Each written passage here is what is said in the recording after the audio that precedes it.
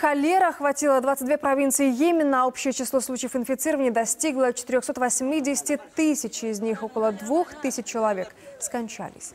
Об этом сообщил пресс-секретарь ООН Стефан Дюжарик. По его словам, число новых случаев снижается, однако впереди сезон дождей и эпидемия может вспыхнуть с новой силой.